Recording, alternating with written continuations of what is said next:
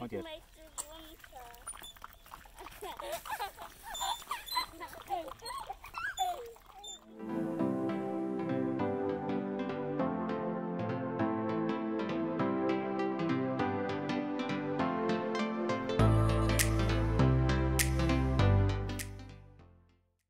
Unser Milan ist ein Magierwischler, der nicht jagdlich geführt wird.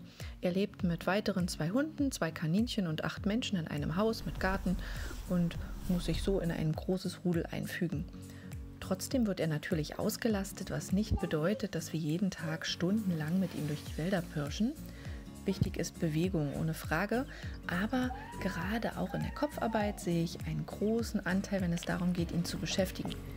Insbesondere an Tagen, an denen es eben keine stundenlange Prärieausritte gibt, wie zum Beispiel hier. Schaut mal, hier sucht Milan sein geliebtes Härchen, das sich ähm, ganz kurz versteckt hat. Dieses Spiel lässt sich auch wunderbar im Haus spielen, woran dann auch besonders die Kinder viel Freude haben.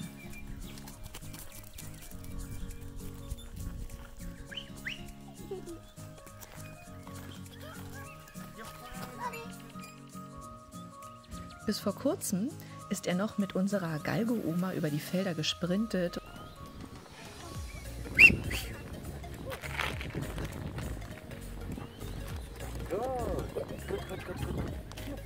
Und hier seht ihr Milan auf unserem Hof. Da hat er wirklich viel Platz. Auffällig ist aber, dass er dann trotzdem immer lieber die Nähe zu seinen Menschen behält und sich nicht gern weit entfernt.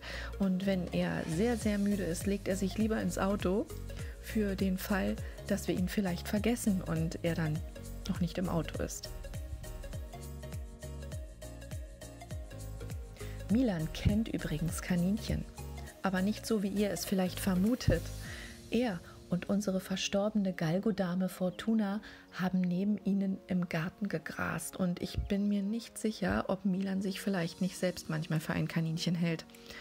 Gerade bei Fortuna, die unter ihrer Vorbesitzerin jahrelang auf einer Rennbahn Kaninchenfällen hinterherjagte, war ich da immer sehr vorsichtig.